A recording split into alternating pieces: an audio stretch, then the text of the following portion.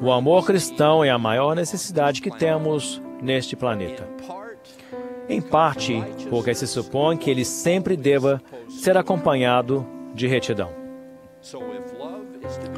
Portanto, se o amor for o nosso lema, como deve ser, então, de acordo com a palavra dele, que é o amor personificado, devemos abandonar a transgressão e toda forma de promovê-la para outras pessoas. Jesus claramente compreendia o que muitos de nossa cultura moderna parecem esquecer. Há uma diferença crucial entre o mandamento de perdoar pecados, algo que ele tem a capacidade infinita de fazer, e a advertência de não tolerá-lo, algo que ele nunca fez, nem sequer uma vez. Amigos, especialmente meus jovens amigos, tenham bom ânimo.